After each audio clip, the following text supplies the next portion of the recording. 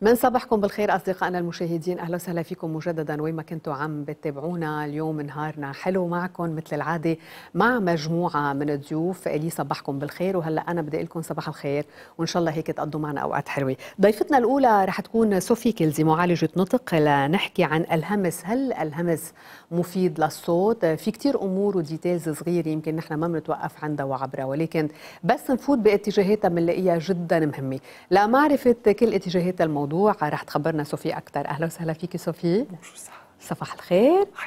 ليش عم تهمسي؟ لا لا هذا موضوعنا. ما ما ما بيقعدوا يسمعوا المشاهدين هلا. بيغيروا ال channel. الهمس مفيد للصوت يا صوفي. قد إيه الهمس مفيد للصوت؟ بس قبل ما أفوت بهيدا النقطة خلينا هيك نعطي هيك définition كثير سريعة. شو يعني همس؟ الهمس أو الوشوشة يعني بالعامة مثل ما بنقول هو أسلوب نستعمله عادة وقت نكون بدنا نخبر شيء هيك لشخص قريب آه، ما بدنا حدا يسمع. يسمع في سر في في شيء خبرية شيء هيك مهضوم بس آه، أوقات كمان نصير نستعمل هيدا الأسلوب بالتغيير بطريقة التنفس ومخارج الحروف إذا بديك وقت نكون مثلا من بعد سخونة من بعد جريب من بعد إذا صوتنا تعبان لكذا سبب ممكن إذا في إرهاق على الصوت ممكن نصير نستعمل هذا الأسلوب. آه، اللي هو مختلف عن الحكي اللي عادة نستعمله بالحكي اليومي. مختلف أكيد كمان عن الطبقات تبع الصريخ مثلا شخص أو عم بيصرخ الصريخ هو شيء الحكي اليومي شيء الهمس هو غير شيء والحكي على صوت عالي كمان مختلف. أوكي. يعني غير عن الصريخ يعني المفاجئ. منهم يعني مختلفين عن بعضهم طريقة استعمال الصوت. صوفي نحن بالأيام العادية إذا بنقول مثلا تعبانين زلاعيمنا لأنه حكينا كثير بصوت عالي صرخنا كثير عيطنا كثير آه بالهمس نحن عم نريح زلاعيمنا وهل الواحد بيرتاح لما بيستعمل الهمس؟ هلا إذا بنرتاح خلينا نقضي كل النهار أنا وياكي همس ونتعب صوتنا. بس ما بعود في كتير نبرة. إيه. بالهمس ما في كتير نبرة. يعني آه، بصير الصوت إذا بدك عم نخلي نبرة معينة ما فينا كتير نشكل فيها آه، نكون عم نغير بالتوناليتي. فهيدا هو الفرق. بس أكيد مختلف وكتير أشخاص بيصيروا يستعملوا هيدي الطريقة بالحكي مثل ما كنا عم نقول إذا الصوت تعبان من بعد سخونة أو ضمن سخونة لأنه ما عم بيطلع الصوت. آه، عم نحكي كاستعمال طويل ولكن آه، له ضرر. في ضرر على الأوتار الصوتية لأنه عكس ما بنفكر نحن بنفكر أوكي ما عم بقدر يطلع صوتي مزبوط ما عم بقدر يوصل صوتي مزبوط رح وشوش لأنه عم بقدر استعمل هذا الأسلوب. هذا الأسلوب ما بيكون آه، إذا بدك آه، متضرر بهول الحالات اللي الصوت بيكون تعبان. بيطلع الصوت نحن بنفكر بطريقة سليمة بالهمس ولكن هو عم بيأذي. بيكون عم بي- بيأذي هو آه، من من طرف آخر عم بيأذي الأوتار الصوتية.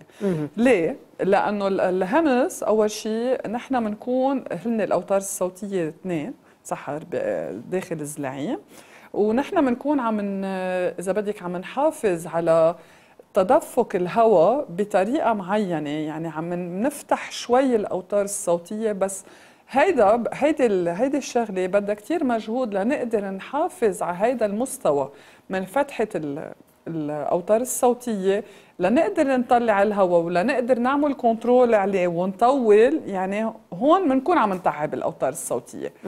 يعني بدل ما نكون مثل ما عم مفكرين نحن إنه عم نريح ما عم بيطلع صوتي رح بلش أحكي على صوت واطي لأنه عم بقدر وصل المساج الشخص اللي مقابلي عم بيقدر يفهم. لا آه، هي آه، هو أسلوب. إذا كان في عليه تكرار واستعملناه على مدة كذا يوم لأنه آه، الصوت ما رجع بطريقة سليمة ما رجع بسرعة وكنا ساخنين. أو على طول في إرهاق صرنا على طول عم نستعمل هيدي الطريقة. بفكرة إنه ريح صوتنا الفكرة خاطئة. الفكرة خاطئة. خلينا إذا بدنا نحكي يعني بنكون عم نعمل إذا بدك مجهود على المجهود. يعني صار في مجهود إذا كان من وراء تعب من وراء سخونة الموضوع مختلف بيصير في همس بس الهمس بيقدر يأذي كمان مم. يعني آه، هو مجهود زائد خاصة إذا كان في أصلا تعب على الصوت ممكن يصير في أذية أكثر على على الأوتار. سوفي إذا بدنا نقول خلينا نحكي لنفسر أكثر الفكرة لأصدقائنا المشاهدين عن سلبيات وإيجابيات. خلينا نقول الهمس هو طبق موجود قدامنا.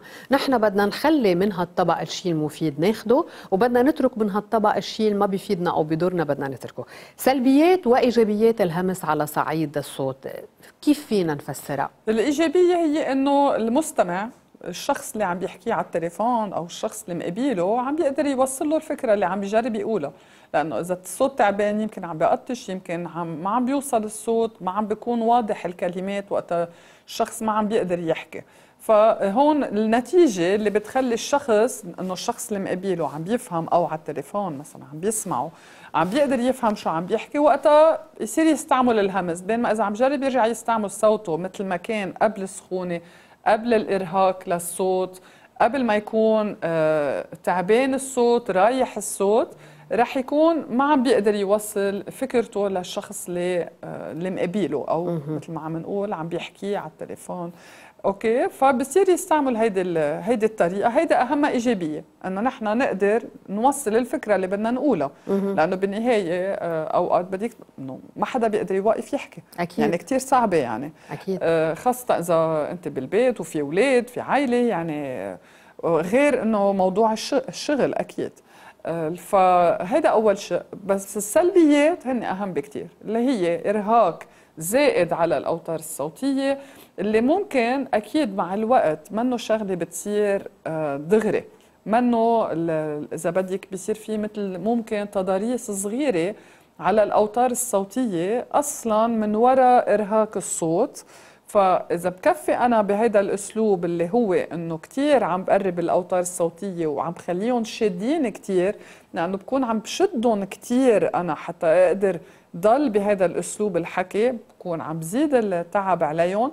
ممكن هون نزيد التضاربات يعني الضرر اللي هو فعلا طبي هو فعلا جسدي ممكن يصير فيه تضاريس يكون في آه، كتل كتير صغيرة مثل جرح يصير موجود على وتر أو الوترين الصوتية. أوقات مش ضروري يكون على الوتر الصوتي ممكن على النسيج اللي حواليهم كمان. فبالتالي هون بصير في لزوم لعلاج نطق وممكن أوقات كمان حتى لجراحه فمشان هيك ما لازم نستعمل هذا الأسلوب فترة طويلة لازم يكون عن جد هيك بس لأنه نحن مضطرين نستعمله وفترة كثير قصيرة. وإذا كان رايح الصوت على مدة يعني مدة أسبوع أو أكثر أكيد لازم نشوف الحكيم. حتى ما نكون نحن عم نكفي هذا الإرهاق ونصير بموضوع أسوأ تاني. آه، للصوت إنه فعلا صار في ضرر على الصوت ونحن تعودنا إنه نعمل هالإرهاق ونستعمل أساليب خاطئة بحكينا آه، بطريقة استعمالها إنه بالنهايه الصوت الأوتار الصوتية سحر هن مثل آلة موسيقية مم. يعني بدنا نعرف ندق مزبوط عليهم صح. وبدنا نعرف نحافظ عليهم يعني هي كتير فعلا دقيقة ونعرف نحافظ عليهم مية بالمية. آه صوفي أوقات في ناس بالحياة العادية بيحكوكي بهمس فأنت بتفكري بهمّ شي دينيكي أو ما عم تسمعي. عن جد قد ما صوتهم خفيف وقد ما بيحكوا همس بتصيري عم بتقولي بهمّ شي دينيي شكلي أنا عندي مشكلة بالسمع. وتطلبي منه 50 مرة please بتقوي صوتك شوي لا مش عم بسمع بتروحي عند حكيم دينين بتقولي له فحصني بيقول لك طبيعية.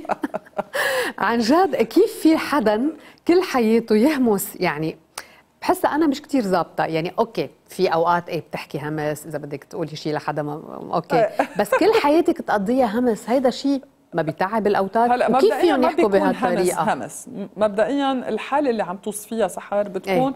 أشخاص هن صوتهم منه عالي. يعني بيحكوا بطبقة هي أصلا واطية بس لحد الهمس؟ أه مش مفروض يكون هالقد واطي. آه. يعني بيكون هن أصلا آه، أنا عم بحكي هلأ بصوت عادي بس هن بيكونوا أو أصلا صوتهم أوطى بكثير من الأساس وقت يكونوا عم بيعبروا عن حيلا شغله أو عم بيحكوا مع شخص ما بيطلعوا آه، بالعالي. يعني مش ضروري آه، نبرة بس هيدا طبعهم. طريقة حكيهم مش ضروري يكون في أذية. طالما مثل ما قلتي صوت واطي بس ما نزلوا على الهمس. وقت يكونوا كل الوقت عم بيستعملوا هيدا الأسلوب صعب الواحد يضل يستعمله على طول لأنه مثل ما كنت عم بقول كمان ما في تشكيل بالصوت ما في نبرة ما في تغيير بالصوت. بده يكون على طول فيه شد كتير وعلى طول عم نحافظ على هيدي النبرة مش النبرة هيدا الهمس كتير صعب. آه، حتى يعني مشان هيك عم بقول بتعب كمان. مم. يعني ما مشان هيك ما فينا نحافظ عليه إلا بالحالات اللي نحن اضطرينا نروح عليه.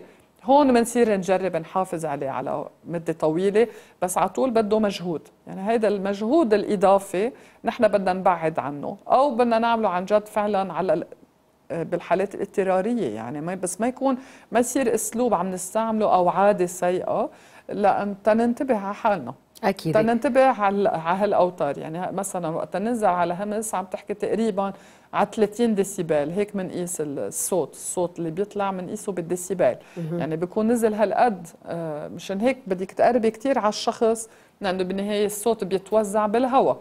إذا كل ما كنت بعيدة هالشخص اللي عم بيهمس كل ما مانك قادرة بقى تسمعي ابدا. أكيد. ما هو الهمس شو شو ميزته؟ إنه يكون الشخص قريب حتى نكون عم نسمعه يعني ويكون واحد قريب من الثاني حتى يكون عم بيسمعه. 100% الأم يلي بتحكي ولادها كل الوقت بهمس هل بيقدروا يلتقطوا منها اللفظ الصحيح؟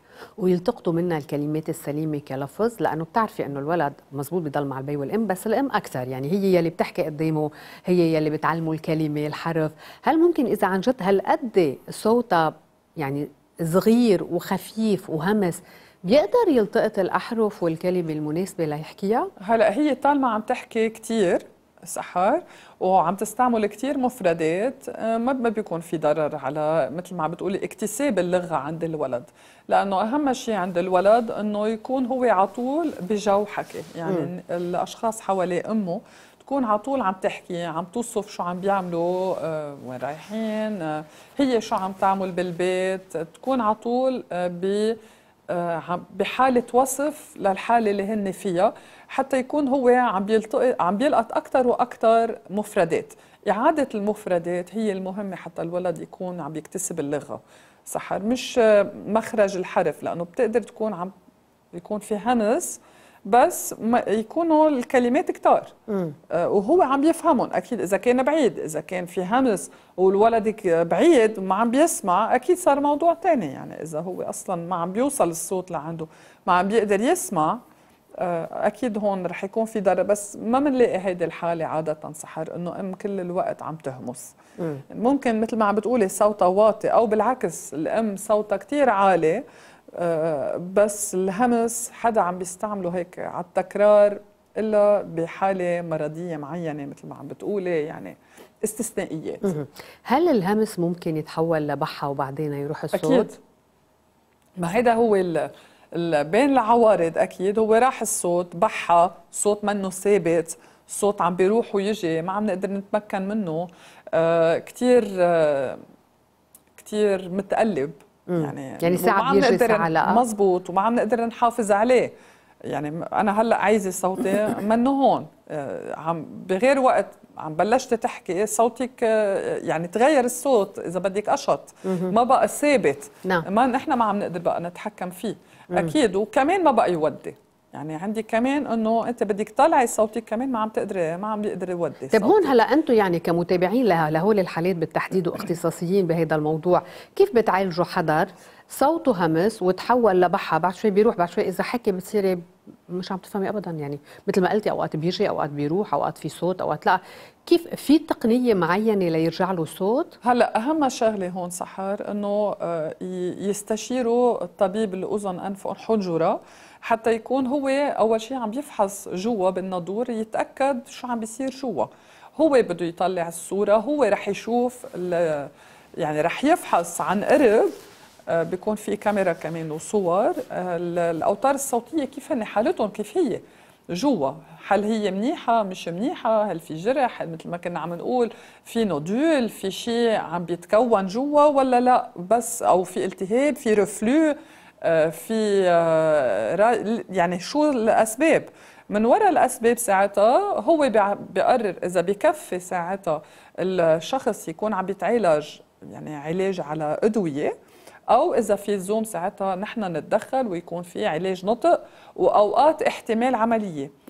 صحيح 100% يعني أحيانا الطبيب بيطلب الأورتوفونية لعلاج النطق حتى يكون عم يتجنب العملية, العملية المريض. فإذا التزم الحل المريض بالتمارين وبالعلاج كله ساعتها احتمال كتير كبير يتجنب العملية. بس إذا ما غير هو أسلوب استعماله للصوت بالطريقة اليومية. مش عم نحكي هلأ ضمن الجلسة يغير الأسلوب أو طريقة استعمال الصوت. لا بده بده يحمله بحياته اليومية. بده يصير في تغييرات باستعمال الصوت. نرجع نكتسب هيدي المهارة شوي شوي حتى نتجنب العملية. بأضرب واحيانا من بعد العملية بتنطلب بينطلب كمان علاج النطق. يعني عن جد هون آه، دور الحكيم هو يعرف مزب... هو أكيد بيعرف يعني آه، بأي وقت نحن لازم نتدخل. م. أسوأ حالة ممكن نقول إنه تدخل الحكيم وما عطى أثر أو مثلا حاول يتدخل الحكيم و... وما رجع له صوته لهالمريض هيدي أسوأ حالة؟ ولا لا؟ ما في أسوأ لأنه إذا إذا وصلنا لحدود العملية رح ينعمل عملية ورح يمشي حاله؟ إيه مزبوط بس يمكن ينعمل عملية وما يمشي حاله. هو اللي ممكن يصير إنه تنعمل عملية بس الشخص إذا ما غير طريقته مش مش هيك الطبيب بيطلب أوقات علاج النطق إنه يصير فيها التغيير على استعمال الصوت ما بقى يكون في إرهاق على الصوت م. بتلاقي هالإرهاق خاصة عند الأشخاص اللي بيحكوا كثير ومضطرين يعلوا صوتهم أو بيكون في كثير أصوات حواليهم فهن مضطرين يستعملوا طبقة عالية بصوتهم ويحكوا كل النهار بهيدي الطبقة اللي هي منا الطبقة الطبيعية اللي هن بيحكوا فيها. يعني إذا تواجدوا مثل مثلنا هلأ بمحل هالقد رايق ما رح يكونوا عم بيستعملوا هاي الطبقة بس لأنه هن متواجدين مثلا بمحل فيه كتير لازم هن على طول يكونوا عم بيعطوا أوامر. آه، في أكيب في فريق عمل وبده يعلي صوته. ممكن هون يكون في إرهاق. مشان هيك الحكيم بيطلب علاج قبل لأنه إذا ما التزم كمان ما تعلم طريقة الطريقة السليمة ليرجع يستعمل صوته من بعد العملية ممكن يرجع ينتزع الصوت. يعني على أمل نكون وضحنا بس الصورة مش بالضرورة أكيد يعني. بس ممكن إذا ما التزم ساعتها بهول بهيدي الطريقة الجديدة ليرجع هو يكتسب صوته ويتمكن فيه ممكن يرجع ينتزع الصوت من بعد العملية. على أمل إنه ما حدا يوصل لهيدي الحالة. صوفي كلزي معالجة نطق. أنا بدي أشكر وجودك معنا. أهلا وسهلا فيكي ميرسي لك. وإلى المزيد من اللقاءات. بنشوفك جمعه الجاي اذا الله راد thank you أهلا وسهلا فيكي أصدقائنا المشاهدين نحن متابعين معكم رحلة يومنا الجديد. ما تروحوا لبعيد لأنه مجموعة من الضيوف بلشوا يحضروا حالهم للانضمام إلى استوديوهاتنا بيوم جديد. بريك صغير كثير هالقد هالقد وبنرجع.